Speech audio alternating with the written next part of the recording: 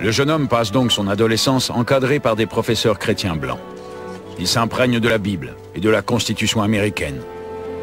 Et bien qu'il vive à plus de 1400 km du territoire cherokee, il ne semble pas souffrir d'être éloigné des siens. Dès les premiers jours dans cette école, il est décrit par ses professeurs comme un jeune homme froid, un peu distant et arrogant. On le compare souvent à son cousin Buck, le futur Elias Boudinot, un garçon beaucoup plus chaleureux mais moins bon élève. John Ridge, lui, est brillant. Parmi tous les élèves indiens de Cornwall, c'est lui que l'école choisit pour préparer un mémoire en l'honneur du président James Monroe. Il en profite pour chanter les louanges de ses bienfaiteurs chrétiens et de ses parents. Ni mon père, ni ma mère ne parlent anglais. Mais il est étonnant de voir qu'ils ont fait tout ce qui était en leur pouvoir pour que leurs enfants soient instruits comme les Blancs.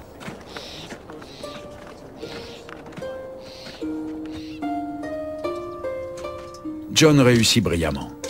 Mais les hivers de la Nouvelle-Angleterre mettent sa santé à rude épreuve. Il passe le plus clair de son temps dans sa chambre. Et Sarah Bird Northrup, la fille de l'intendant de l'école, veille à son confort. Jusqu'à ce qu'un médecin avertisse Madame Northrup de leur idylle naissante. Après les aveux de Sarah, les Northrup décident d'éloigner leur fille pour étouffer l'affaire.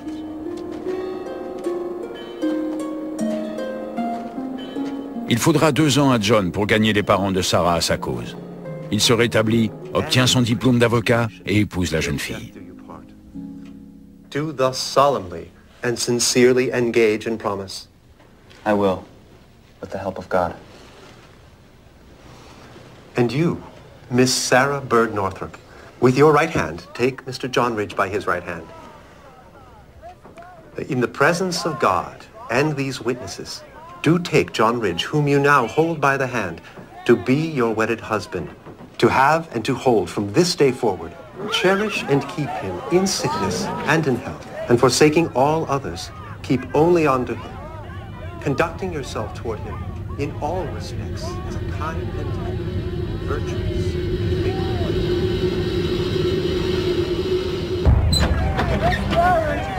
Sim.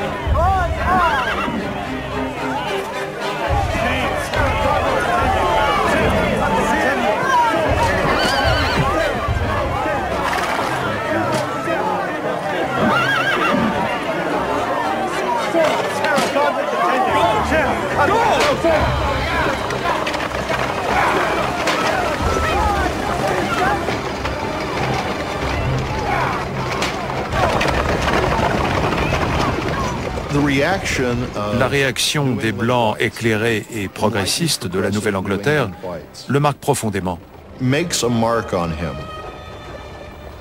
On lui avait dit, fais des études, adopte les manières des Occidentaux et tu deviendras l'un des nôtres. Après cela, il ne fera plus jamais entièrement confiance aux Blancs.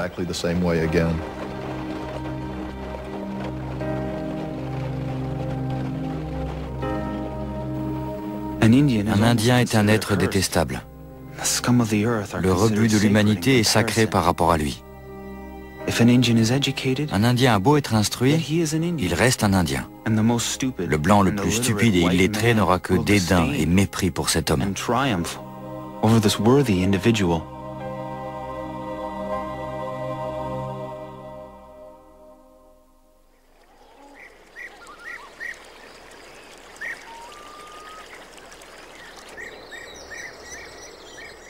Tandis que John Ridge poursuivait ses études dans le Connecticut, John Ross a commencé à se faire un nom.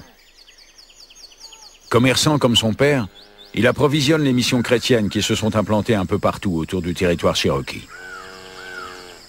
Lui-même a épousé une Cherokee et possède 170 hectares d'excellentes terres cultivables. Il s'implique de plus en plus dans la défense des droits des Cherokees. L'alliance entre les Cherokees et les États-Unis commence à s'effriter. Washington rechigne à payer les sommes promises lors de la signature des traités précédents et tente de forcer les Indiens à lui vendre toujours plus de terres. Pour résister à ces pressions, la nation Cherokee, bien décidée à ne plus jamais céder un mètre carré de terre, a formé un gouvernement central puissant, Mais elle a besoin d'anglophones, comme John Ross, pour se faire leur avocat auprès du gouvernement des États-Unis. John Ross n'était pas issu d'une famille cherokee importante, comme John Ridge. Malgré cela, le Major Ridge le prend sous son aile.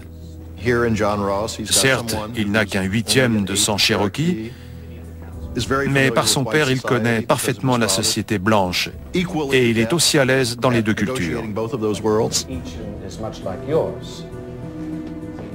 Avec à leur tête des chefs influents comme John Ross et les Ridge, les Cherokees obligent dans un premier temps le gouvernement américain à tenir ses promesses.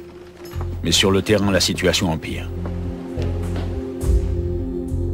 Les planteurs blancs qui rêvent de s'enrichir grâce au coton progressent toujours plus au sud, rachetant de vastes étendues de terre à d'autres tribus indiennes.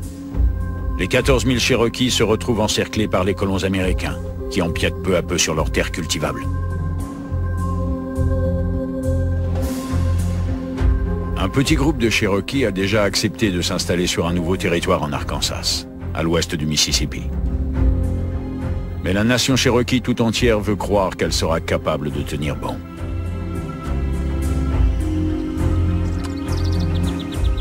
Pour sa part, le Major Ridge a beaucoup à défendre. Les 4 millions d'hectares que possède sa tribu et sa propre ferme. Selon le rapport du responsable des affaires indiennes, l'exploitation du Major est extrêmement bien cultivée. Et ses bâtiments sont bien mieux entretenus que ceux de quiconque dans cette région, y compris les Blancs. En 20 ans, le Major Ridge a planté plus de 120 hectares de cultures commerciales. Coton, tabac, blé et indigo. Il possède également un verger, une laiterie et un vignoble. Et a sous ses ordres une trentaine d'esclaves. Ah,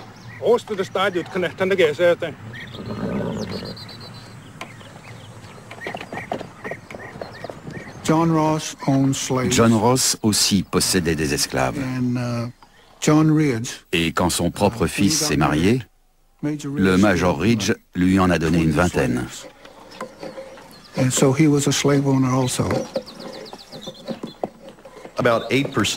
Environ 8% des Cherokees avaient des esclaves. C'était pour la plupart des descendants de mariages mixtes et cette élite adoptait de plus en plus le style de vie des planteurs du Sud. the lifestyle of the Southern planter culture. So well with tobacco in the past that we're thinking of adding to that, or perhaps even some cattle. Siwa, welcome. How are you, Gov? Well, it's the square, they're gone here. So you got long, that's can use dog, you go near your now, I jail log you wish on. I say no, that's den, see. My father says the rains were heavy here and um, the cotton was planted late. But cotton prices are rising again. Who on? Kriget? Det är My father apologizes to you, ma'am. He says the cost of your fine dresses is going up. huh, Adela.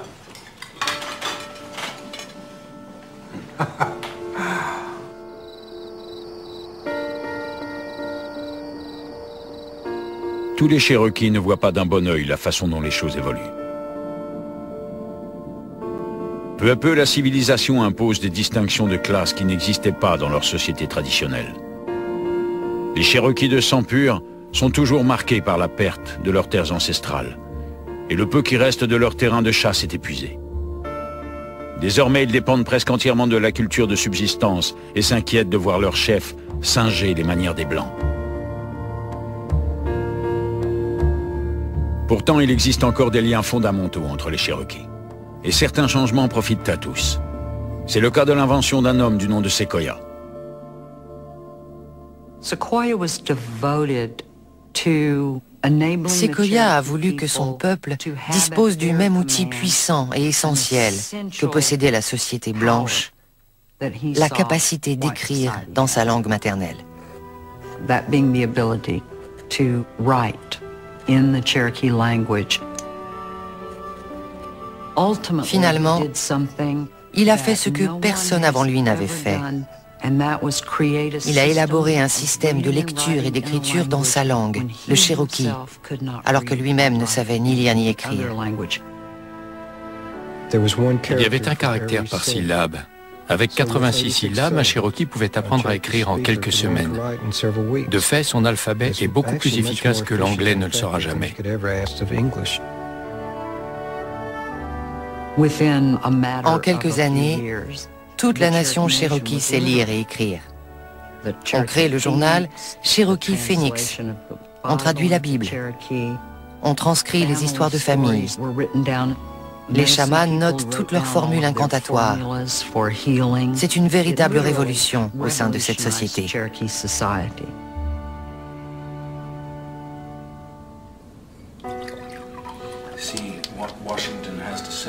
À la fin des années 1820, le Major Ridge assiste à la naissance d'une nouvelle nation Cherokee. Sa population augmente chaque année.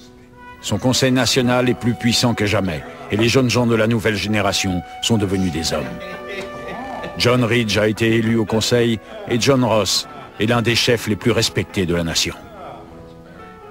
John Ross, ne ressemblait pas à un pur Cherokee. Et pourtant, le peuple avait confiance en lui.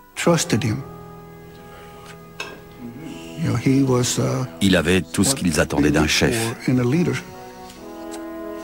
Et il défendait les plus démunis.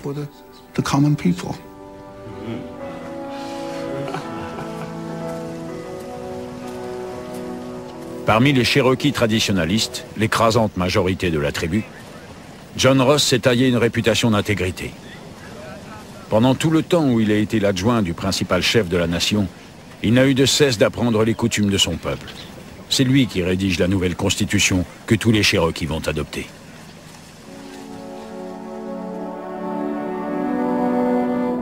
Cette constitution prévoit un gouvernement élu démocratiquement, sur le modèle de celui des États-Unis. Il est divisé en trois branches, un pouvoir exécutif, législatif et judiciaire. Un conseil national puissant est investi du pouvoir de protéger le territoire cherokee. C'est l'apogée de ce mouvement. Le peuple cherokee ne connaîtra probablement jamais une unité aussi forte.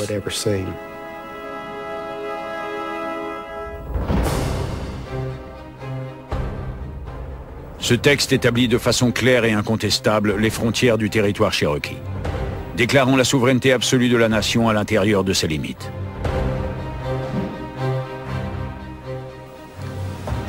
La Géorgie réagit très mal à cette constitution Cherokee de 1827. Ils se disent, s'ils instaurent un gouvernement constitutionnel, on n'arrivera jamais à s'en débarrasser. L'État de Géorgie décrète. La Géorgie a la propriété absolue des terres litigieuses et elle a le droit légitime de s'en emparer quand elle le souhaitera et par tous les moyens qui lui plairont. Parlant des Cherokees, un législateur ajoute On devrait enseigner à ces hommes mal avisés qu'ils n'ont pas d'autre choix entre leur déplacement au-delà des limites de l'État et leur extinction.